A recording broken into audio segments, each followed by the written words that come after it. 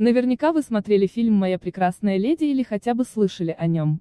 Фильм снят на основе не менее успешной пьесы «Пигмалион», написанной Бернардом Шоу. За историей создания пьесы стоит романтическая история самого драматурга, которого в новом фильме не чертовски вероятно, Not Bloody Likely сыграет Пирс Броснан. События фильма разворачиваются в 1914 году. Официальный синопсис фильма звучит так. Бернард Шоу написал свою пьесу «Пигмалион», на основе которой был снят получивший Оскар фильм «Моя прекрасная леди» специально для знаменитой театральной актрисы миссис Пат Кэмпбелл. И это не случайность, поскольку он давно был в нее влюблен.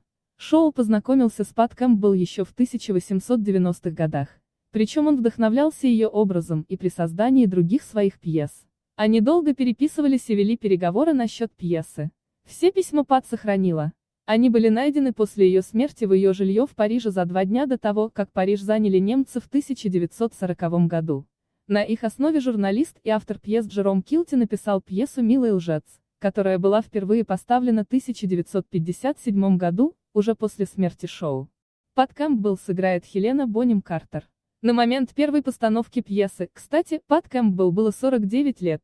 Режиссер и сценарист проекта, Джоэл Хопкинс, снявший романтические фильмы «Хэмпстед», «Любовный удар» и «Последний шанс Харви». Фильм планируют выпустить в следующем году.